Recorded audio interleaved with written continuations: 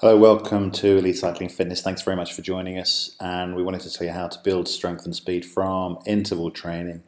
This is a further addition from earlier videos you may have seen on this and just bringing you up to date information. We're talking about road training and exercise bike fitness for speed and endurance training programs. This video focuses on the road training. Why should you listen to us? Well, we've got experience from Elite International Racing, coaching, different types of track successes, understand nutrition, what it means in a cycling lifestyle, all about health and the motivation that you need to be successful. We believe in keeping a consistent improvement, 10 to 20% uplifts in distance and time in your training, resting every third day or fourth week, road training, yoga, using indoor cross training, and using a home exercise bike for aerobic and for intervals and for warming down. And it's all about building your functional power threshold with long rides for aerobic and power, short intervals, sprints, jumping out of corners, and then combining that with yoga and cross training. So let's talk about building strength and speed from interval training. Many fitness factors let you do well at endurance events. You need a high threshold power, good recovery ability, aerobic endurance, muscular endurance, core strength, and an upper body muscular endurance. So let's understand what the interval training part of this is. We're talking about targeting maximum fat loss through high intensity interval training. This is a popular form of exercise combines two of the most effective fat burning methods. High intensity training gives you the maximum effort to achieve muscle fatigue and maximum oxygen use in a quick burst of exercise. The harder they work, the more oxygen your muscles require. It gets you to your VO2 max to exercise your heart so that the highest amount of oxygen is consumed by your body during exercise. And then working your body close to the VO2 max triggers that afterburn effect. And that can continue some hours afterwards. Your body continues to burn calories for up to 48 hours after your workout. And it takes approximately 5 calories to consume 1 litre of oxygen. So, alternating methods of intense effort with uh, periods of moderate to low effort gives you the interval training benefit. You need a 20 minute workout of alternating high and low intensity period burns that burns more calories than a 20 minute workout of steady intensity. Interval training boosts your metabolism significantly longer than a steady workout, and interval training builds lean muscle tissue rather than steady state training, which will do it um, a lot slower. If you combine the two principles, exercises can maximize fat burning and muscle building potential through significantly shorter workouts. High intensity interval training then increases your metabolic rate, optimizes your muscle building, and increases the calorie burn. What's the science behind interval training? Well, it's all about the maximizing both your aerobic and anaerobic fitness, while cardio really just addresses aerobic only. Aerobic respiration requires O2 to generate energy, but anaerobic respiration does not require O2. High intensity interval training affects muscle tissue at any cellular level, actually changing mitochondrial activity in the muscles themselves. And studies show 27 minutes of high intensity interval training three times a week can produce the same anaerobic and aerobic improvement as 60 minutes of cardio five times a week. Yeah, let's repeat that. 27 minutes three times a week of high intensity interval training gives you the same improvement as 60 minutes of cardio five times a week. So, very efficient form of training. And if you want to do just a very small method, you can do a three minute warm up, 60 seconds fast cycling at maximum resistance, 75 seconds slow cycling at low resistance, and repeat that for 12 different cycles. That's best for intermediate level. So, we want to talk to you now about the road interval training that we found very successful in maximizing fitness and road sprinting power. Before we do that, just let's share with you this exclusive road bike deal for this Moser bike. You can get straight to it on this link if you want to, dld.bz forward slash Moser bike.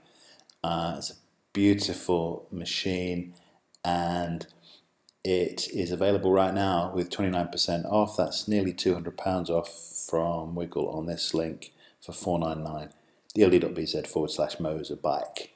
But let's focus now on the road interval training. What you need to do is find a circuit of about 40, 40 minutes with minimal traffic, uh, very few junctions or entrances, because we know when a car pulls out of an entrance without giving due consideration for a cyclist how that can interrupt the rhythm and the training that you're trying to do. So we're just taking an example here of the home counties around Henley on Thames, where you can find some lanes where you just gradually build up, and basically the red is where you're in the red on your anaerobic workout, pushing hard out of corners, sprinting for trees, sprinting if you can up hills, pushing yourself for between sort of 40 and 60 seconds.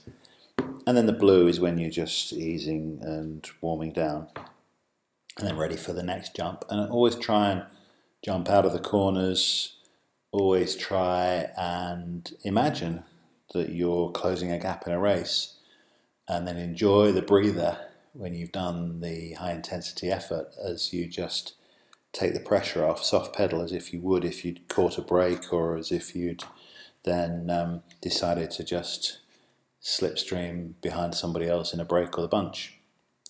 And you can obviously vary the routes that you follow. This is another one where in this particular area you can see the points of effort and the points of rest that we follow.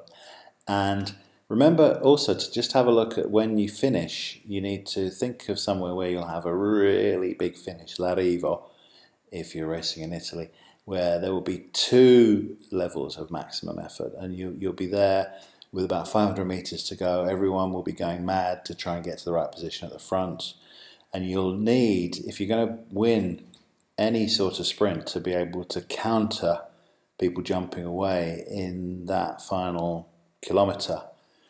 And you're going to need to be ready to make three or four major efforts yourself, counter the move, and then ready to pounce and make your own sprinting effort with around 300 meters to go. And if someone's gone already, you're going to have to clearly get on their wheel and then come off that wheel with about 100 meters to go on absolute maximum power. So you do all that in those final two chunks of effort, and then obviously you need a kilometre warm down afterwards.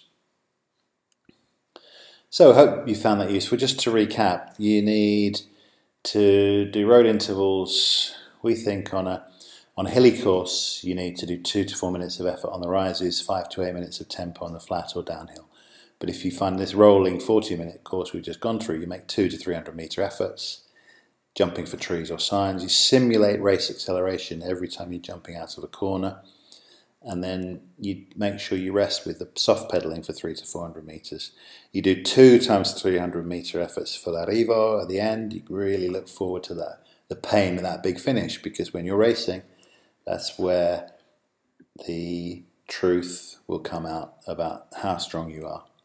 And then you do a minimum 1000 meter warm down at the end. If you want to have a look at this sprint training system, uh, again, it's a really good program talking about acceleration training, different um, in, information on meals and weights and gym, um, different interviews and coaching. And you can get the link to that. You can see there, dld.bz forward slash sprint fast twitch, and that'll really help your muscular power. So remember, you need to keep variety and balance. Three interval sessions each 14 days. Um, you shouldn't really push it any harder, but you'll feel the benefit over the next 48 hours of the interval sessions that you've done. So in your road training, you do aerobic and you do intervals for anaerobic. You combine it with yoga and indoor cross training. And you use your home exercise bike for aerobic training, for intervals again, and for warming down. So we really appreciate you joining us on Elite Cycling Fitness and we hope that you will uh, enjoy all our other videos too. Keep in touch with us on elitecyclingfitness.com.